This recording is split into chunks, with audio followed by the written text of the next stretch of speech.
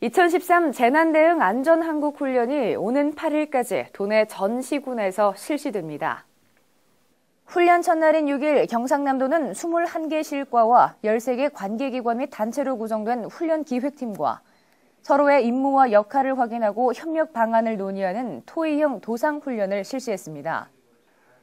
특히 이번 훈련에서는 풍수해 부문 재난대응 체계를 점검하고 매뉴얼을 보완해 여름철 자연재해에 대비할 예정이며 유해 화학물질 유출 사고에 대비한 현장 통합 훈련도 함께 진행하기로 했습니다.